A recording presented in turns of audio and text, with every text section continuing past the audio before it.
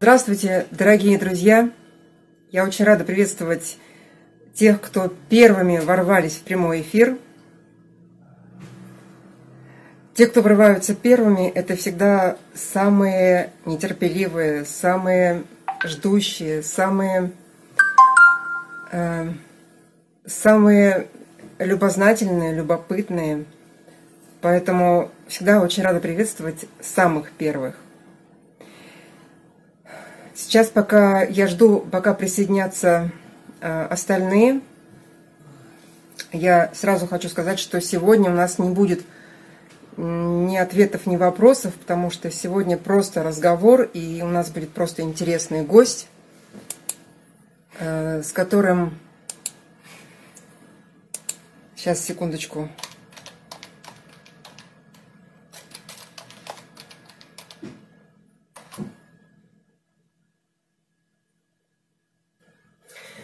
Сегодня будет очень интересный гость, э, собственно, ради которого я и делаю этот эфир. Очень интересная, потрясающая женщина. И тема нашего эфира сегодня – здоровый образ жизни, где взять мотивацию. Я э, совершенно не случайно взяла эту тему и пригласила этого человека – потому что в последнее время стала получать много вопросов примерно одного плана. Э, где взять мотивацию для здорового образа жизни? То есть люди как бы хотят примыкать к здоровому образу жизни, хотят становиться более здоровыми, но не все понимают, где взять мотивацию. Сегодня это слово очень модная мотивация. То есть не находят силы воли для того, чтобы Эм, начать вести здоровый образ жизни. Э, я пока все еще говорю вступительное слово, потому что жду, пока соберется основной народ, потому что я вижу, что еще только 11 человек у нас, и, ага, и обычно это бывает намного больше, поэтому пока просто приветственные слова. Но э, прежде чем я начну свой разговор относительно здорового образа жизни – я хочу поздравить вас всех от всей души с замечательным праздником нашим, праздником семьи, любви, верности. И это очень даже для меня символично в этот э, день выйти в эфир, потому что именно с семьей и связана моя личная мотивация. Я же вам обещала открыть секреты своей личной мотивации, да, что меня привело к здоровому образу жизни. Поэтому э, моя мотивация, она идет как раз из семьи. Итак, я поздравляю э, всех, кто в эфире, и всех, кто будет смотреть в записи эфир с этим замечательным э, праздником. И еще одна моя такая личная небольшая пометочка. Сегодня день рождения у моей э, родной тети, сестры моего отца. Это самая э, взрослая, да, если можно так сказать, взрослая представительница нашей семьи, э, старейшая, э, взрослее ее уже никого нет в нашем роду. Поэтому для меня этот день, он еще более особенный. Вот эти два праздника – день рождения э, представительницы э, нашего рода, самой э, взрослой, и день семьи, любви и верности. Итак, еще раз повторю, что сегодня не будет никаких вопросов и никаких ответов. Сегодня у нас просто такая особенная тема, будет просто разговор. А все вопросы, на которые вы хотите получить ответы, вы сможете оставить потом в комментариях, потому что будет запись эфира она будет выложена у меня в аккаунте, и вы сможете оставить все свои вопросы в комментариях. Обязательно отвечу. Итак, начну с себя, со своей истории, где я взяла мотивацию для того, чтобы начать вести здоровый образ жизни.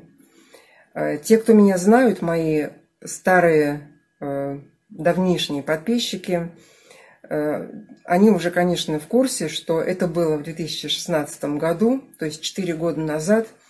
Я тогда была теткой с, пол, с лишним весом и с букетом болячек, которые, собственно, и набрались у меня в итоге вот этого лишнего веса и в итоге неправильного, нездорового образа жизни.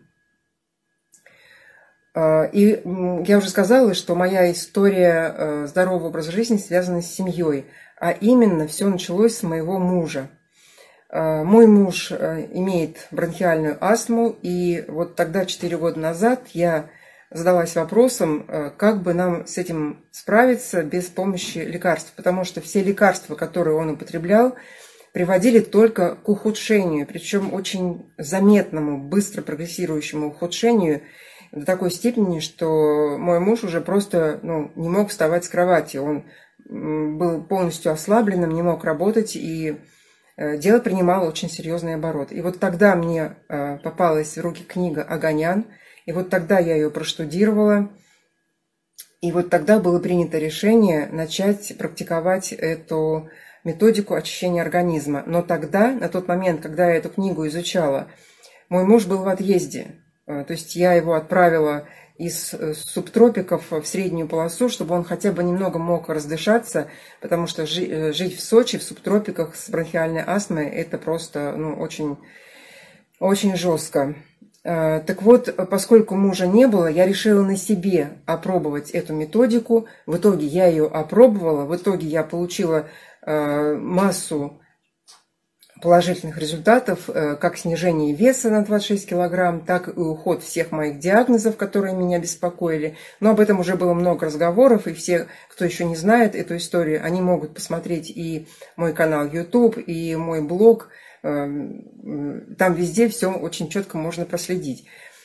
Э, главное в чем? Э, главное в том, что я поняла, что жить так, как я жила до этого, да, до этого знакомства с, с натуропатией, с методикой оздоровления через очищение, через изменение питания. То есть жить эм, по прежней схеме я уже больше не хочу, не могу и не представляю даже себе это возможным, потому что, э, получив эти шикарные результаты, я понимала, что если я вернусь назад, туда, где я была, э, вот к этому обжорству, к этому нездоровому образу жизни, я просто откачусь по всем своим диагнозам и по своему весу, я получу все обратно, э, от чего я ушла. И этого мне больше всего не хотелось. И еще один очень важный момент, который я осознала чуть позже, когда я уже Э, переехала жить э, сюда, в среднюю полосу России из Сочи, когда я уже когда мы уже с мужем провели и ему курс очищения, когда мы уже получили хорошие результаты, устойчивые и у него по стабилизации его состояния, вот тогда я уже пришла к, следующим, к следующей мотивации, которая оказалась еще более сильной, чем первая.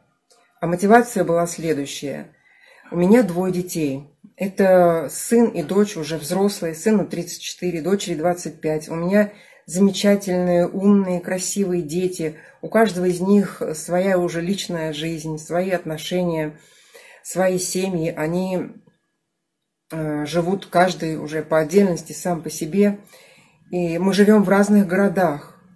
И когда я представила, как я стану старой, дряхлой, немощной, лежащей, э, возможно, ходящей под себя, вонючей старухой, я подумала, как же мне будет стыдно, если я заставлю своих детей все бросить и быть возле меня, чтобы поднести мне пресловутый стакан воды или поменять памперс.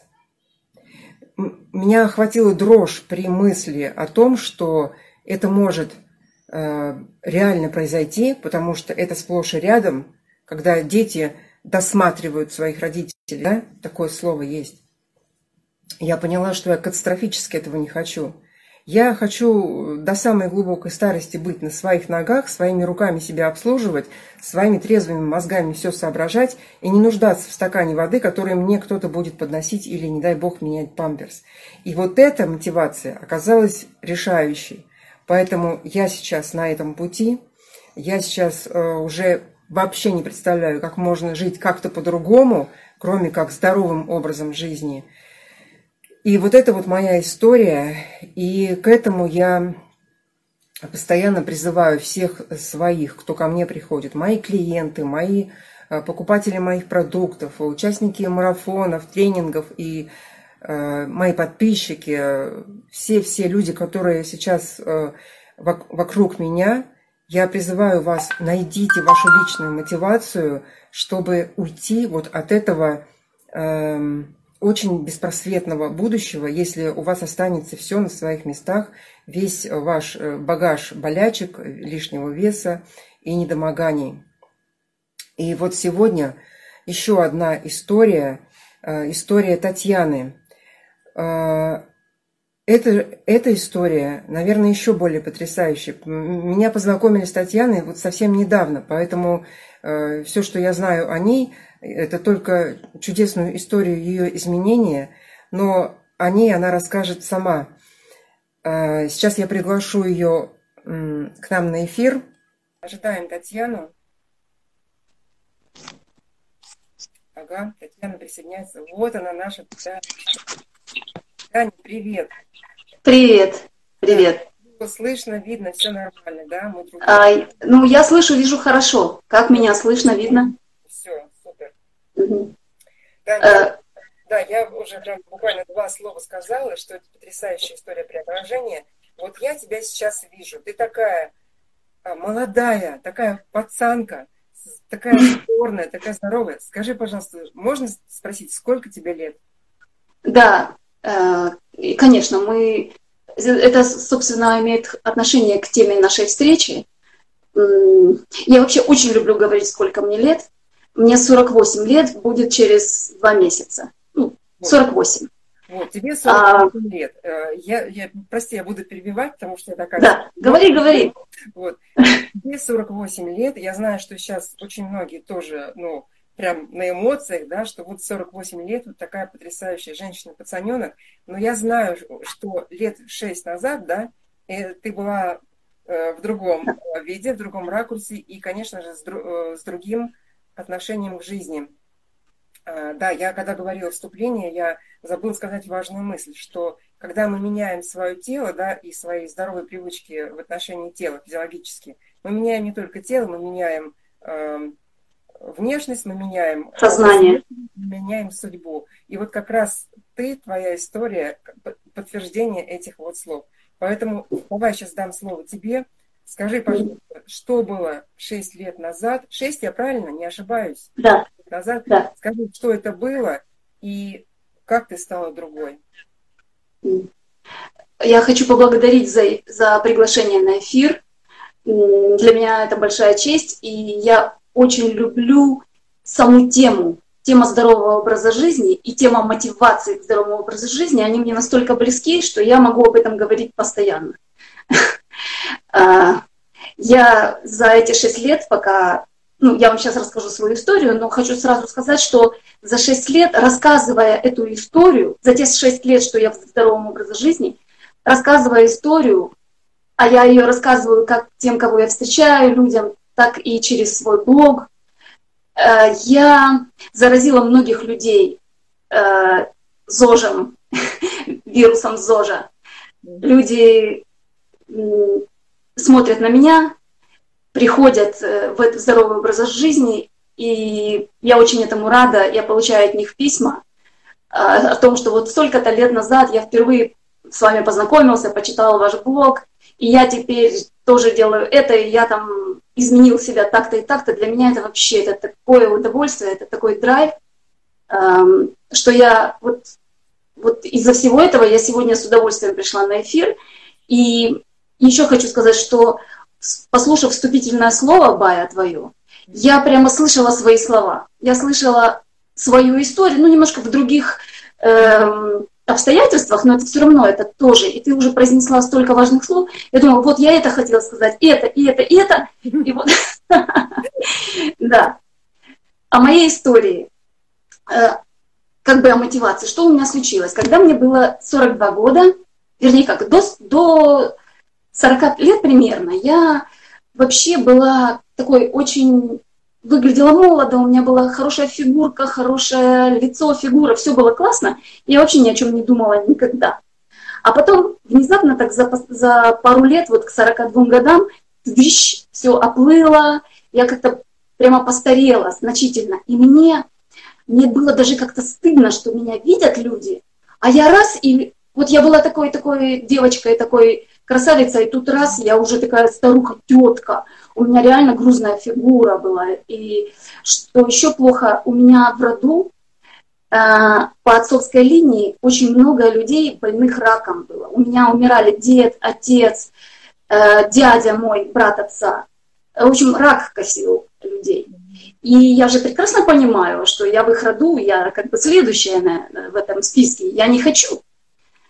А, э, то есть я не хочу быть старой, я не хочу быть э, такой апатичной, ну, без энергии, не хочу быть некрасивой, и я не хочу болеть. Я не хочу болеть раком, я не хочу умереть. Э, то есть, ну, я понимаю, что мы все умрем, но я хочу, чтобы это случилось как можно э, дальше, и я хочу прожить э, вот то, о чем пишут. Я, вот я не боюсь старости, но я хочу, чтобы у меня была активная старость, такая в кайф, mm-hmm. а не вот это вот... Ну, у меня нет, нет слов, чтобы это писать, но я думаю, все поняли, о чем речь. Mm-hmm. Так вот, э, в 42 года какой у меня был букет? Я вот даже выписала, я, я заглянула в свой блог, потому что уже трудно все упомнить. Я сейчас, готовясь к эфиру, выписала те болезни, которые у меня были на тот момент, когда я пришла в ЗОЖ. У меня был периотрит суставов там определенной степени. Я просто проходила обследование, у меня был список моих болезней. У меня были проблемы со щитовидкой, у меня была инволюция вилочковой железы, э, гидронефроз. Я не врач, я прошу прощения, если я что-то неправильно называю, я как бы это как, э, говорю, как, как я это слышала от врачей. Гидронефроз почек, у меня были паразиты по всему, в разных местах организма, очень много, прямо он был засорен. В том числе в яичнике. Я постоянно чувствовала боли в яичнике, и я боялась, что у меня вот может быть рак этого. И я ходила, и мне сказали, что у тебя там паразит. Uh, у меня была обезвоженность очень сильная, исследования показали. Uh, сразу хочу сказать, что у меня, например, всю жизнь были вот локти здесь, uh, эти концы локтей, как это сказать, они были серого цвета и сухие. Я всегда считала, что это у нас в роду, мои мамы были такие же, ну, мои мамы такие же. И я думала, это просто такой тип внешности. А потом я поняла, что это был один из признаков обезвоженности. У меня была загрязненность организма продуктами распада белка. А, биологический возраст превышал мой паспортный на 5 лет. То есть мне было 42, а мой организм уже был изношен так, что мне было 47. А, еще у меня были, э, об этом очень не говорят в эфире, но я, не, я скажу. Это у меня были геморрой, варикоз, вот эти вот неприятные вещи, которые у меня были 42 года на минуточку. И мне не хотелось этого всего. И когда я пошла к врачам, э, я поняла, что а мы в тот момент жили на Украине, это я вам потом расскажу, как благодаря ЗОЖу я потом переехала в Израиль. А тогда мы жили в Украине, и был экономический кризис, вся, все эти неприятности, и у меня не было денег на то, чтобы лечиться, ходить к врачам. И я решила помочь себе сама, я начала искать информацию в интернете, и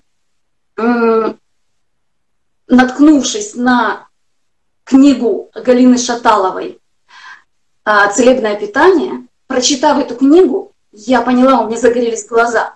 Я поняла, что Э, что состояние здоровья на 95% зависит от образа жизни.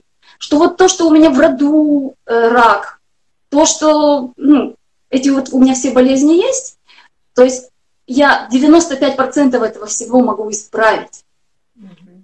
И я перешла на сыроедение. Я очень долгий период времени была на сыроедении. А, что важно, что, наверное, я не хочу это забыть, поэтому сразу скажу. Я наладила водный режим. Это очень важно. Я не пила воду, а стала ее пить не менее двух литров в день. И это прямо на глазах меняло мой организм. И у меня изменилась кожа. А локти перестали быть сухими. У меня локти, ну, на локтях кожа такая же, как и в других частях тела. То есть у меня вот эта вот сухость прошла. Масса всего. Я, возможно, сейчас даже не помню, я так эмоционально рассказываю. В общем, э, питание, да, я изменила питание. Mm-hmm. Я хочу сказать, что я полностью отказалась от молочных продуктов. И по сей день я их не ем. Уже 6 лет. А, за 6 лет я не съела ничего из молочных продуктов. И я считаю, что мои изменения позитивные во многом и благодаря этому. Э, я не ем глютен. А, долгое время не ела мясо, сейчас я его по чуть-чуть ем, так немножечко. Но долгое время не ела. То есть про питание я сказала, сказала про воду. Что еще важно, я начала активно двигаться, бегать, э, заниматься велосипедом, э, всеми возможными видами, там, все, что мне было доступно все это начала применять, и я начала меняться. И, как говорят, знаете, аппетит приходит с едой, вот так мотивация к ЗОЖ, она приходит, когда ты уже этим начал заниматься. Да. Ты видишь свои изменения, ты прямо каждый день, ты видишь, насколько у тебя появляется энергия, ты становишься лучше выглядеть, ты подтянутый, фигура классная, начинаешь улыбаться во весь рот. Mm-hmm. И это так мотивирует. И я вошла вот в этот ритм, и выходить из него не хочу и по сей день. Я очень кратко рассказала. А, что хочу сказать, когда я через пять с половиной месяцев вот этого образа жизни, не приняв ни одного БАДа, ни одного лекарства, которые мне прописывали врачи, а я говорила, да, что у меня просто не было денег в той ситуации, э, в той стране ситуации, где мы жили, у меня не было денег на лечение. То есть, не приняв ничего из того, что мне советовали, я для интереса уже обновленная пришла на те же исследования. Меня обследовали, и врачи сказали, такого не может быть. Такого не бывает. Что вы делали с собой? Что вы принимали? Я говорю, ничего. Я изменила питание, начала двигаться и начала пить воду. Мне говорят, нет, такого не может быть. Я говорю, ну как не может быть? Вот же я. В общем, а, они были все удивлены. И, и я не знаю, поняли они что-то или нет, но я от них ушла довольная, потому что я ушла с новым списком тех же болезней, и я, у меня вот периатрит снизился там на большое количество процентов, просто уменьшился до ну, нормальной степени. У меня вообще уже не было проблем со щитовидкой. Гидролифроз почек вообще не, не э, о нем даже уже не упоминали в моих исследованиях. Паразиты, э, там, может быть, там оставался какой-то там, я не знаю, 5%, и, а было там огромное количество. Обезвоженность прошла, э, ну, все, вот все, что я перечисляю, оно либо прошло совсем, либо снизилось в меньшей степени. Про геморрой, варикоз я вообще забыла. Я сейчас о них говорю, потому что я, готовясь к эфиру, пошла и прочитала, что у меня было раньше. И думаю, боже, неужели у меня это было? То есть это прошло. Э, и что еще здорово, что возраст уже исследования показывали, биологический возраст уже был меньше, чем паспортный. Но я это все и чувствовала тоже. У меня был такой прилив энергии, что я, например, не могла сидеть. Вот я сейчас не могу нужно что-то ждать, люди все сидят, например, нормальные взрослые люди. Я тоже вроде как нормальный взрослый человек, но при этом мне хочется вскочить, отжаться от пола на руках несколько раз, колесом пройтись, побегать, подвигаться. То есть вот у меня появился внутренний какой-то источник энергии, которого не было раньше.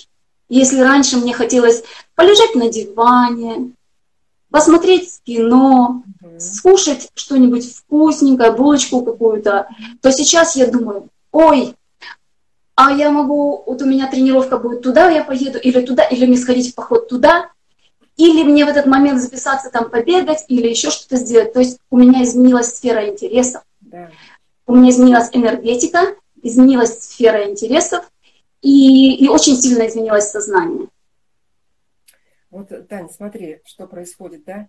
То есть, э, когда мы живем в одном образе, для нас по кайфу вот именно то, что вот ты сказала, да, полежать под сериальчик, пощелкать там каких-нибудь вкусняшек, да, под сериальчик, это кайф. Как только ты начинаешь менять в своей жизни, организм сам перестраивается на другой, да, на, на другой да. И вот э, по кайфу становятся уже другие вещи.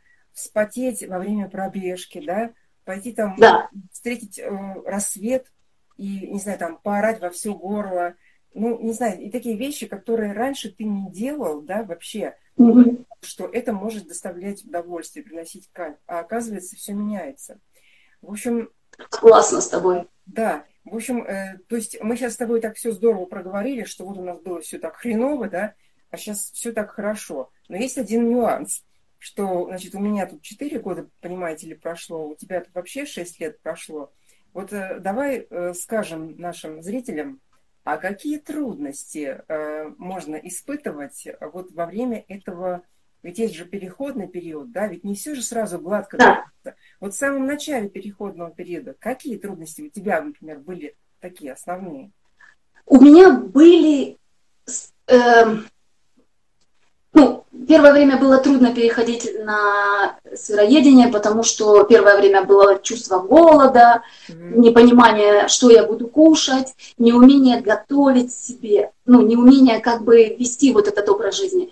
Mm-hmm. Плюс страх, а у меня муж э, на обычном питании, а я на сыроедении, и как я, как, mm-hmm. как мне быть. Э, вот э, все это у меня утряслось, и я поняла, что я могу прекрасно готовить что-то для себя, делать салаты там. Или вот сейчас я, например, ем уже крупы, я могу сварить кашу на воде и сделать салат, и это будет основное блюдо нашей семьи.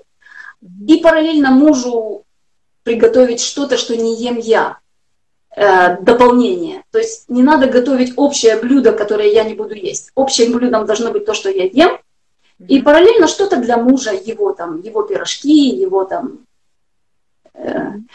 вот.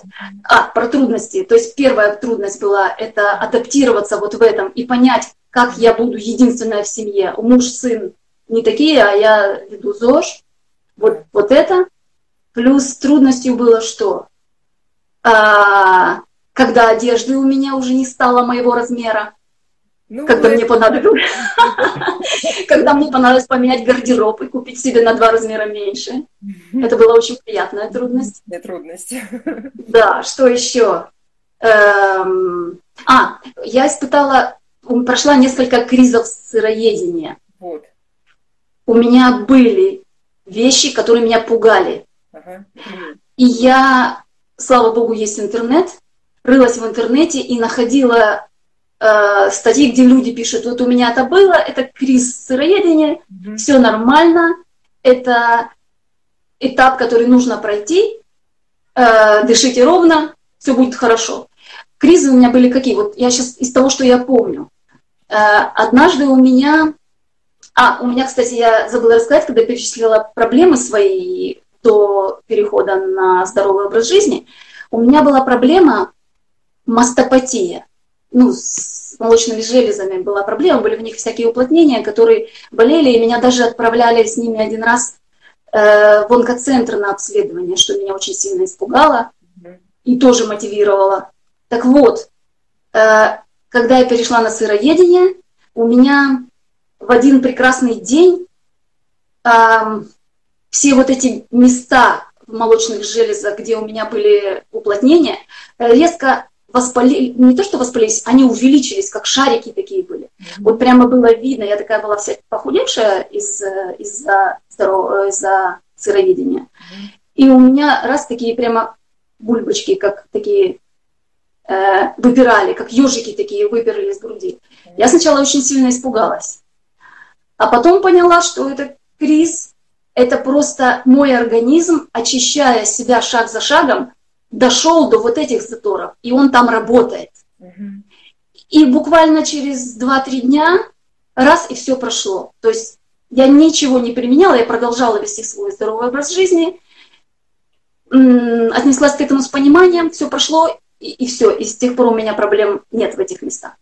И еще у меня в один момент было раз, и тело все начало чесаться. Как, вот прямо зуд, как будто аллергия сильная пошла. Причем я не съела ничего такого. Uh-huh. Я тоже вычитала, как я это понимаю, как я это себе объясняю, я не врач.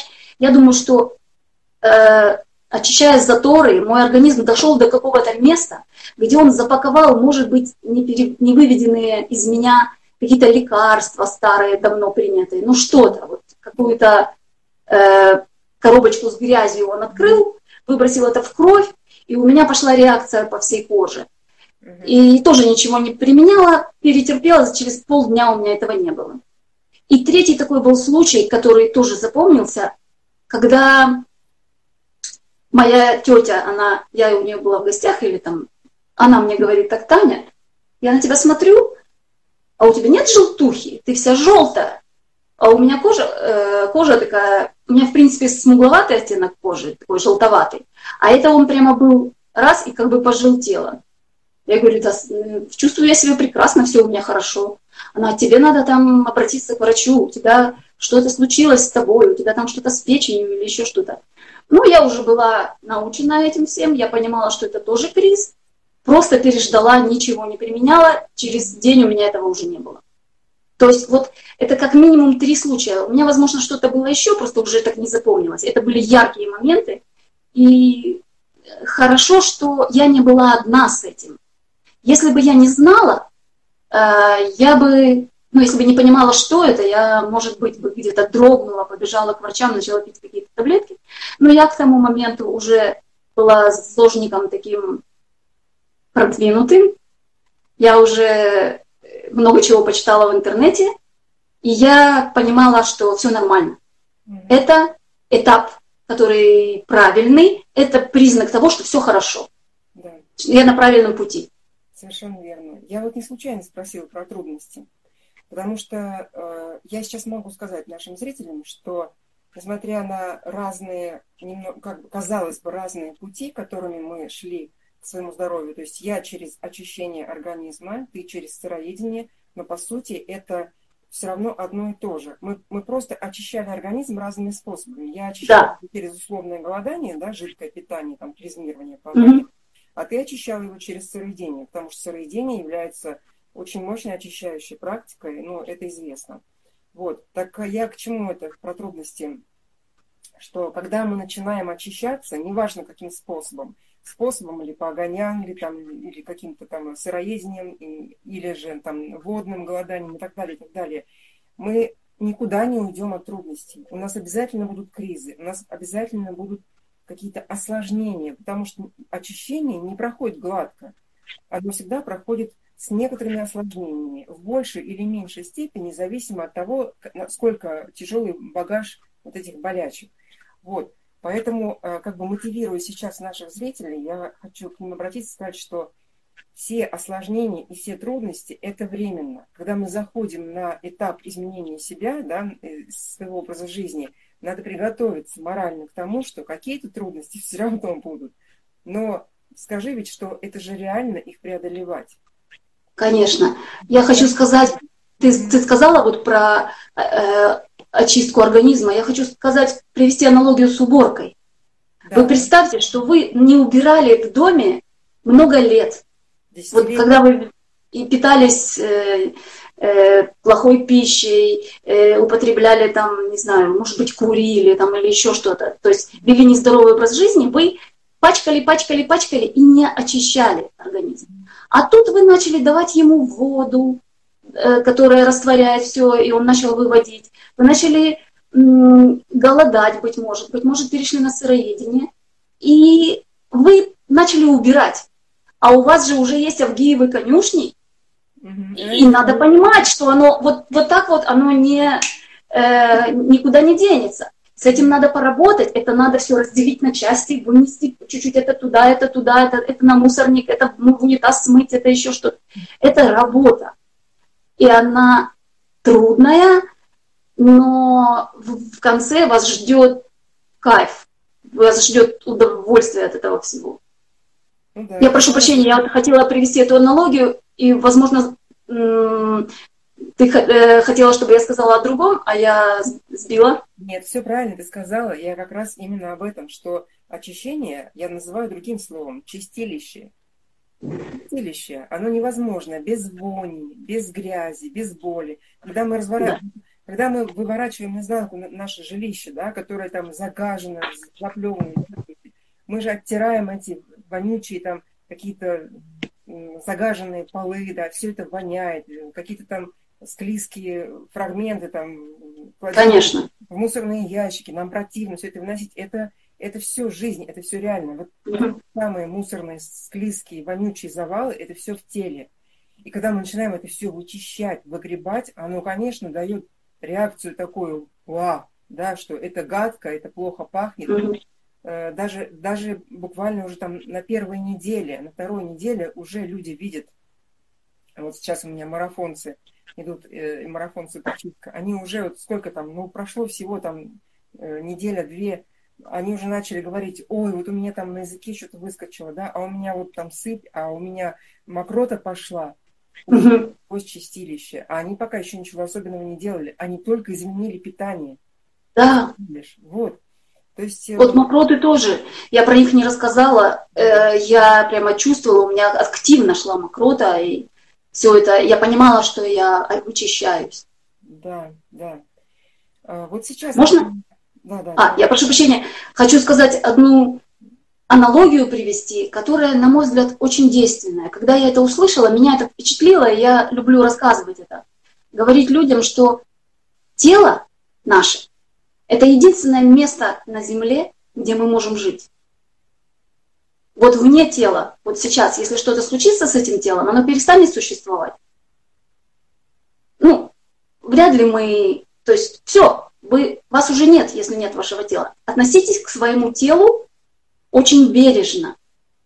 Вычищайте его, заботьтесь о нем.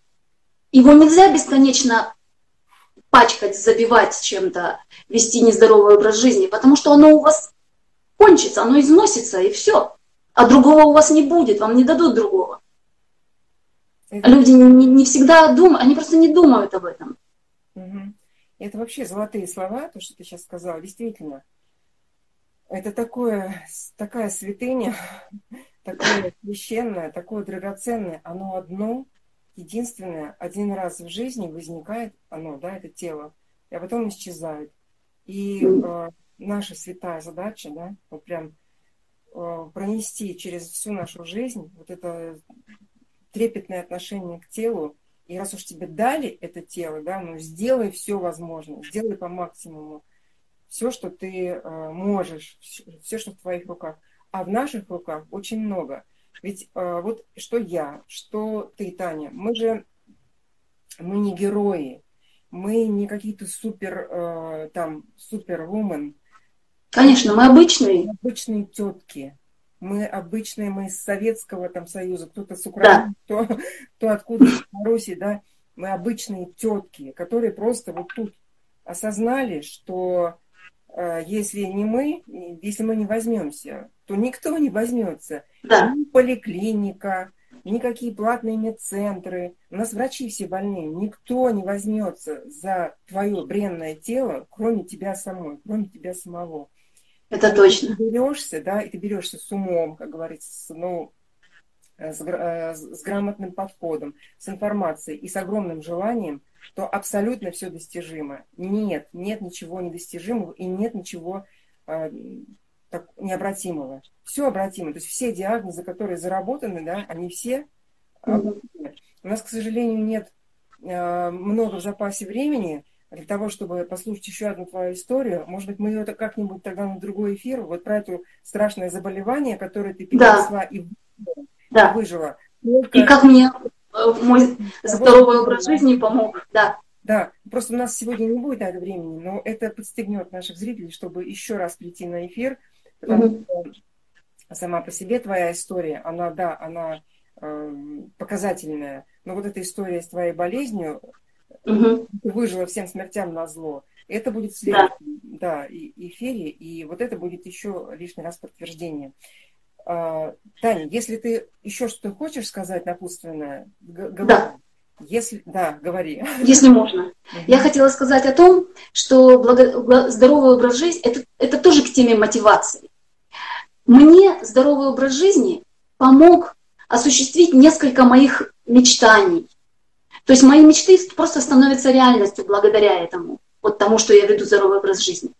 Например, мы переехали из Украины в другую страну, к теплому морю.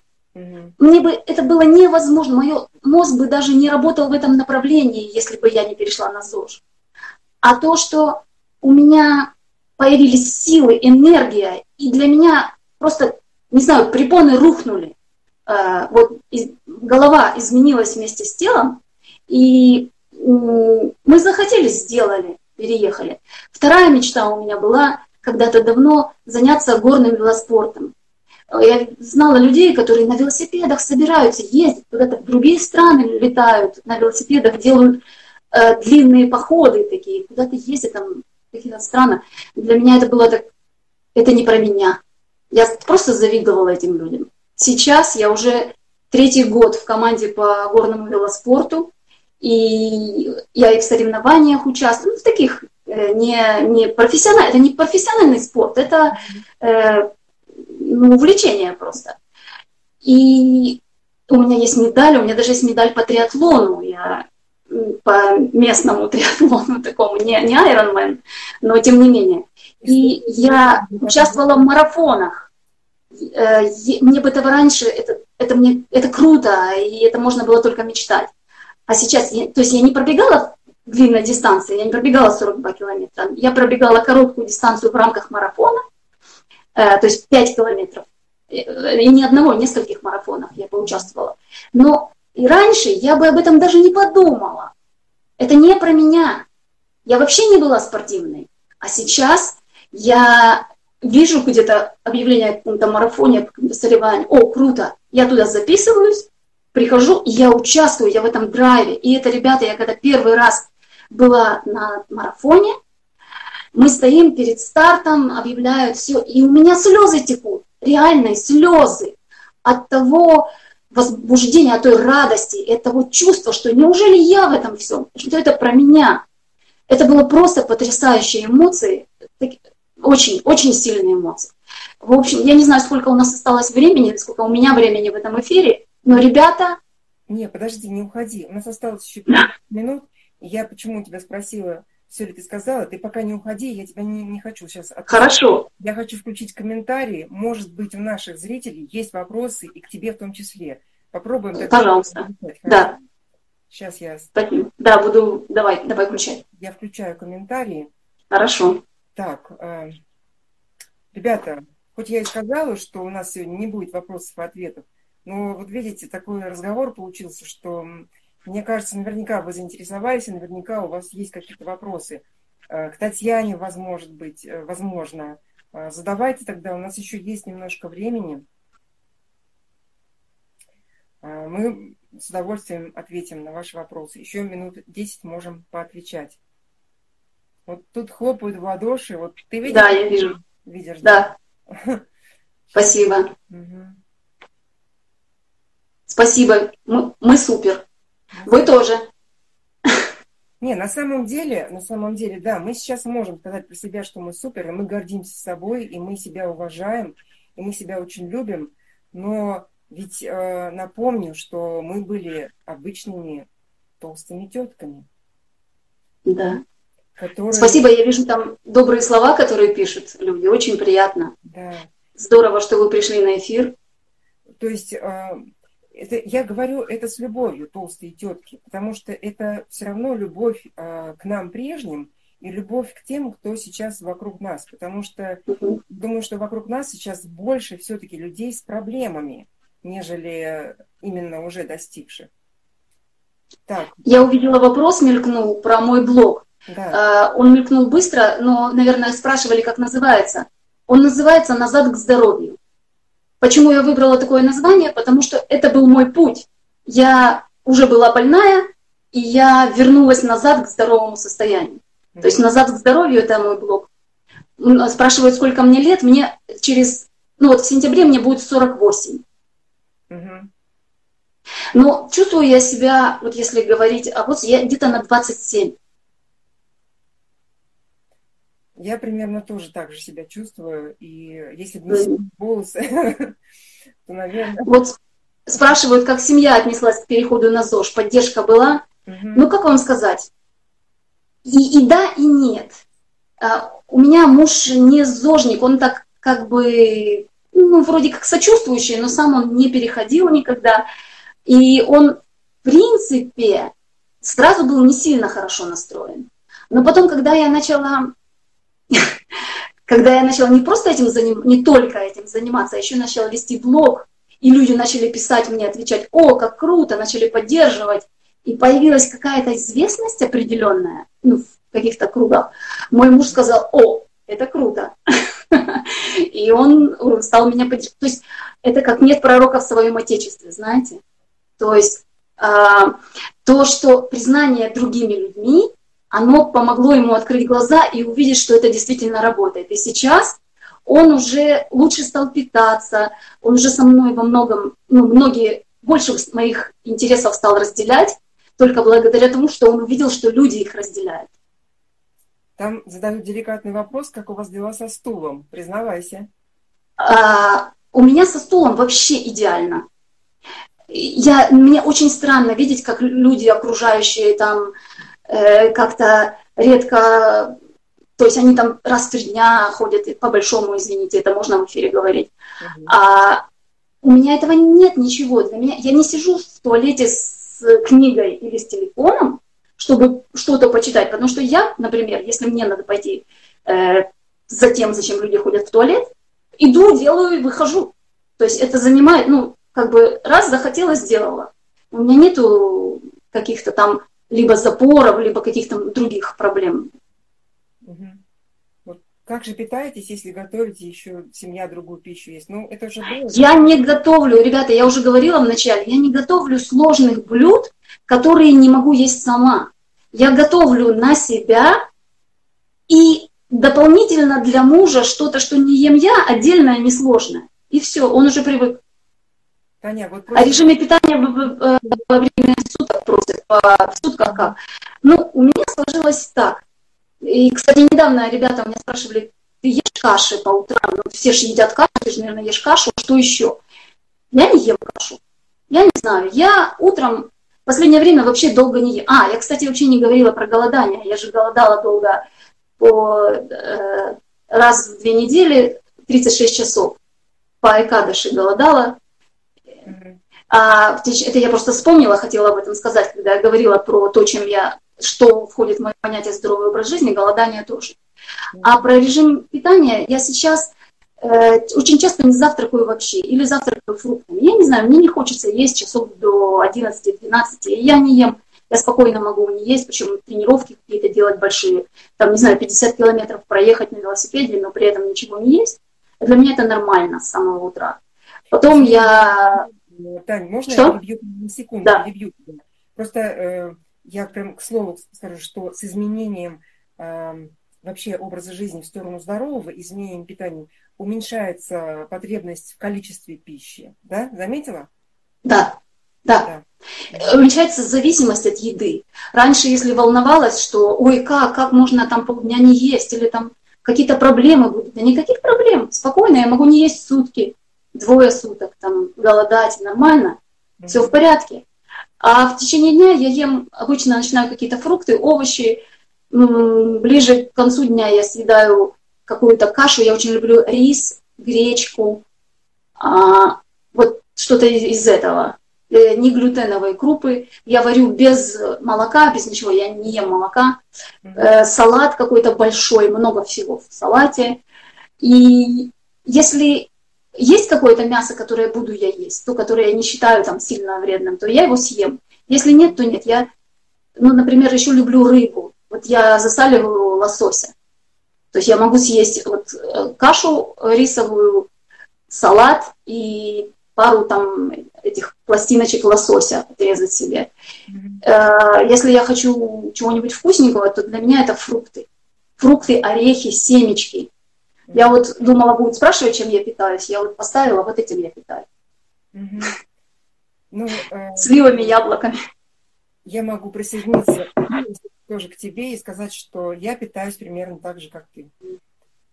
Только я не очень люблю крупы, я их редко ем. У меня как-то больше овощи. Ну, какие-нибудь там тушеные, запеченные. А так, в принципе, примерно в таком же формате я питаюсь. Еще я хочу сказать, что я многие овощи, которые люди считают, что их надо готовить, я ем сырыми. Например, свеклу. Свеклу я ем сырой. Морковь, свеклу, вот салат такой, там капусты. Нормально, отлично. Кабачки я ем сырыми. Ну да, те, кто переходит на ЗОЖ, они уже знают, что э, все, что можно есть в сыром виде, надо есть в сыром виде. Так, у нас осталось 8 минут, еще какие-то вопросы. Денис, вот Денис мне пишет, не пропустил ли он ответ про мой блог. Денис, мой блог называется «Назад к здоровью». А он, наверное, уходил попить воды, поэтому он пропустил ответ. Так, а, ну, Тань, я, я прямо не знаю, как мне, какие слова благодарности. О, моя сестра из Ленинграда, Санкт-Петербурга смотрит нас. Аня, привет. Классно. А, я очень рада, что мы сегодня вместе, что я нашла, вернее, мне, меня познакомили с тобой, потому что это, это здорово. Даже нам, зожникам, а, здорово понимать, что мы не одни. А, да. Очень здорово понимать, что люди не одни, когда они переходят только, да, вот почему там вопрос про семью был, про поддержку, поддерживает ли семья. Да, это здорово. Когда ты переходишь, да, тебе трудно, и ты получаешь поддержку там от тех, кто уже в теме. Но даже мы, вот зожники, да, скажи, ведь тоже здорово, когда единомышленники вокруг тебя, и ты понимаешь, что, о, мы, мы сильны, да, у нас такая армия. Да. Это классно. Братство, братство вот, вот что это. Да. Ой, очень классный эфир. Э, здорово, что ты поднимаешь такие темы. Это очень нужно. И я рада, когда я объявила, что этот эфир будет, мои друзья многие, вот и родственники пришли, я сейчас вижу, Света, я тебя тоже видела, привет. А, все пришли на этот эфир, это очень приятно. Uh-huh. Наша тема, наша, как это, наше дело правое. ЗОЖ это ЗОЖ рулит, ребята. Да, и все. И все будет здорово, только если мы будем в ЗОЖ. Все будет здорово. Так, да. Данька, я тогда тебя сейчас закрываю. Еще у меня да. будет к моим, к моим зрителям. И я Спасибо. не прощаюсь надолго. Думаю, что никто не прощается, потому что мы наверняка сделаем еще какой-нибудь э, бомбический эфирчик. Спасибо большое. Спасибо, вы меня все тоже зарядили, мотивировали. Я очень рада была пообщаться. Спасибо тебе. Все, пока. До пока. Угу.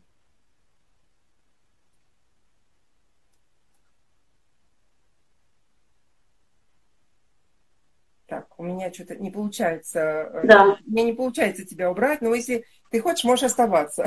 А, а, а, я, может, могу как-то выйти сама? Если ты торопишься, можешь уже выйти. У нас еще пять минут просто есть, а можешь оставаться, как хочешь. Давай, я оставаю, остаюсь, но ты уже говори о своем. Да, я просто сказала, хотела сказать моим зрителям, что вот такие эфиры о мотивации э, я хочу проводить э, и проводить, и проводить, и проводить, и проводить. Почему я это хочу? Я объясню. Потому что ко мне приходят на консультацию э, э, мои клиенты, и они такие все воодушевленные. Они, Бая, вы меня замотивировали, Бая, вы меня вдохновили, я хочу, как вы.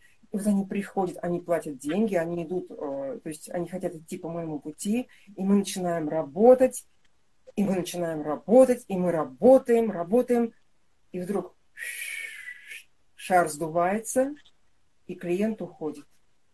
И вот мне бывает так всегда обидно. А, я вообще переживала раньше страшно. Сейчас я не переживаю. Сейчас я понимаю, что каждый проживает свою судьбу. Каждый проходит свой путь. Раньше я переживала, потому что я думала, я чего-то не, не, додала, не додала, я что-то не так сказала, я его не удержала, я не смогла ему помочь, он ушел. Ну, то есть они просто уходят, не прощаясь. Не все, не все, но много.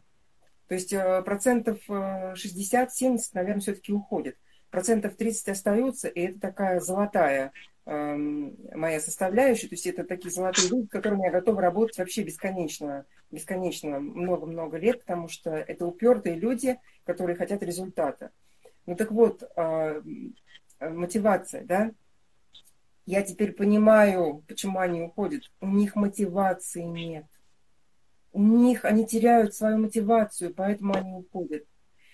Вот, поэтому я э, думаю, что мы еще будем прямо целую, наверное, вот серию делать таких мотивационных таких, а, видео там и прочих-прочих материалов, потому что людей надо мотивировать, людей нужно вытаскивать из болота, в котором они находятся, из болота вот этих вот болячек и неверия в свои собственные силы. Вот, вот это я хотела сказать своим дорогим зрителям, что все абсолютно реально, все в наших силах, мы станем тому доказательство. Да и среди вас, я думаю, наверняка есть уже те, кто уже продвинулся в сторону здорового образа жизни, и нужно подтягивать остальных. Так, и еще буквально там у меня две минуты. Э, поскольку мы, вот женщины, я женщина, Таня женщина, и, и подписчики у меня, и зрители, в основном, конечно же, женщины, 99,9% это женщины, поэтому один из ближайших, из ближайших эфиров у меня будет посвящен женской теме. Поэтому, э, женщины, к вам просьба, э, пишите мне либо в директ, либо там в комментарии вопросы, которые вы бы хотели осветить на женском эфире, чисто женские вопросы. Вот чисто женские, которые может задать только женщина. Вот на этом я, пожалуй, закончу свой эфир. Благодарю всех, кто принял участие сегодня. Танечка, еще раз благодарю. И завершаем наш эфир. Всего доброго. Это было круто. Да, я думаю, что да. До новых встреч. Всего доброго. До новых встреч. Пока.